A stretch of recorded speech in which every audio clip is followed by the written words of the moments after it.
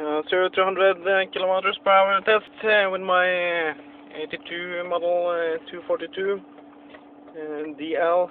It's got an amazing uh, B21A engine, running very smooth. It's one of the most amazing model engines in the history, I think. It's got 90 wild horsepower and a healthy original exhaust.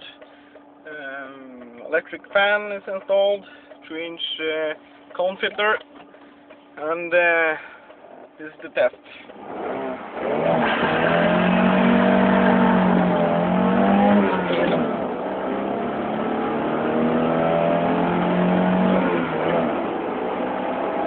And we're there. Amazing speed.